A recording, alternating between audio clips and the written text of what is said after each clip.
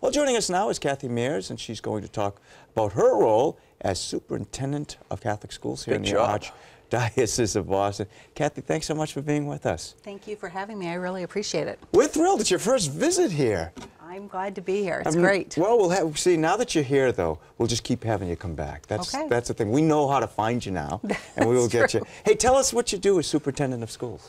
Um, whatever anybody tells me to do. That's kind of like me. yeah, it, I, I'm six of nine children, so I'm used to that. Um, no, I work to support the schools, the parents, the teachers, the children, the students, the principals, everybody, the pastors, everyone who's involved in Catholic education. Um, and I also try to connect people that have different skills, talents, and resources so that we can do the most possible for our students.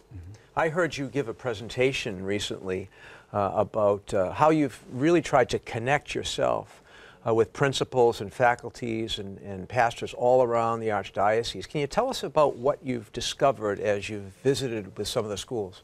I would be happy to. Um, I visited with 143 different people in my first 90 days, Wow. which was a challenge, but it was a good one. It was great. People want to support the schools. They are very, very big supporters of Catholic education. They want to be a part of what we're going to do. They want to bring new life to our schools. Um, our schools do a great job, but you can always get better, and everybody wants to be a part of it. I feel like the Archdiocese of Boston is abundantly blessed by God with opportunities to do things that will help further the mission.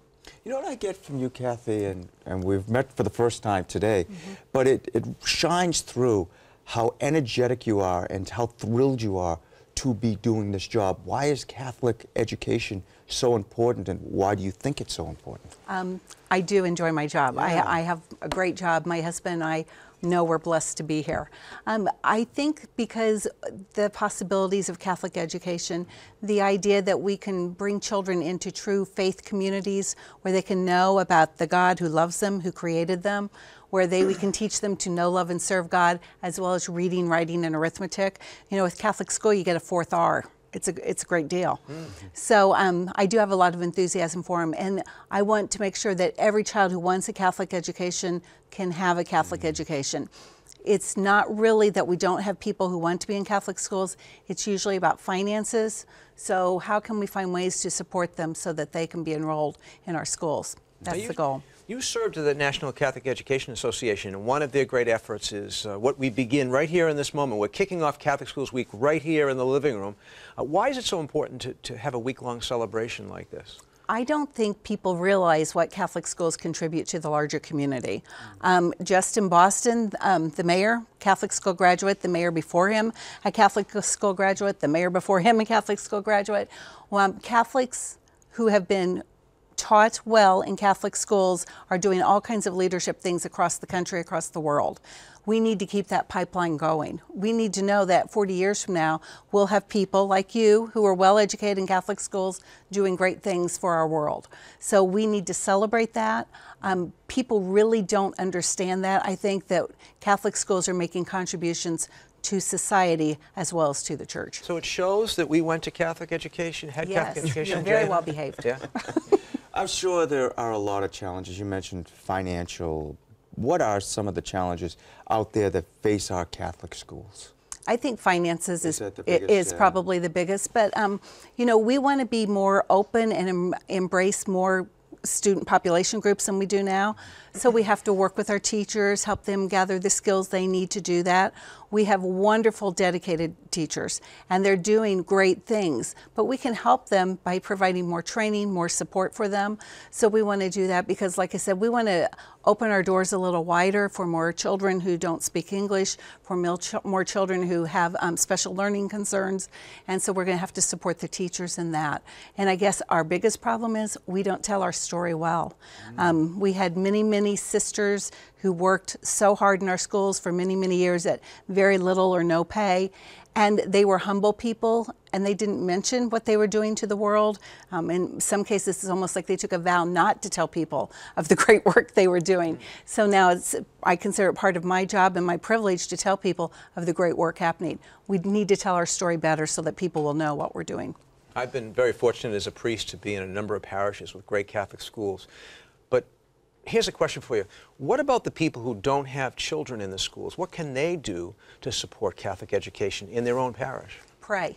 Pray. Pray every day. I mean, uh, people have told me they're praying for me, and I consider that one of the greatest gifts. I mean, it's like some days I can almost feel that prayer. So I think that's the number one thing. Two, ask how you can help. You know, there's a child somewhere who needs somebody to listen to them read. There's a child who needs somebody to show up at a basketball game or a football game and say, I'm cheering for you. All of our kids benefit from great mentors, and there are great mentors in our communities who just need to say, How can I help? Um, if you show up at a Catholic school and say, How can I help? I don't care where you are in the country, they'll, they'll find a job for you. When you talk about not telling the story, and that's the beauty of Catholic TV is we're telling the story right That's now, exactly which is right. wonderful. Uh, I think a lot of times people don't realize how big the Catholic school, and we're talking about the Archdiocese of Boston, but people from all over the country are watching this, and in other countries. Um, this, this, these Catholic schools have done such an unbelievable job, and people don't realize they're everywhere. They, they are everywhere. Um, because of my previous job, I know that our Catholic school enrollment is just under 2 million um, students in this country. And um, I know there's just about 4,900 elementary schools and about 1,200 Catholic high schools in the country. So they are everywhere. They're, they're in almost every diocese in the, in the country. I think there's one diocese that doesn't have a Catholic school. But generally they they are everywhere there's one near you and they're like i said not only are we serving the community but we're serving the church yesterday i learned that um, and one of our parish schools 12 students are going to be baptized on sunday so you know that's evangelization at work another school because uh, you know when you're principals you have to brag so the one said we're going to have 12 so then he told me he said we're having 24 at my school it's a competition. Hey, it's a competition to bring people to christ so what a great day day that is so we're, we're out there working we're out there serving Well, we thank you so much for being with us you. today. I'm glad to be here. And as we said, this is the first of many stops here at Catholic TV for you, Kathy. Thank you. Very much appreciated.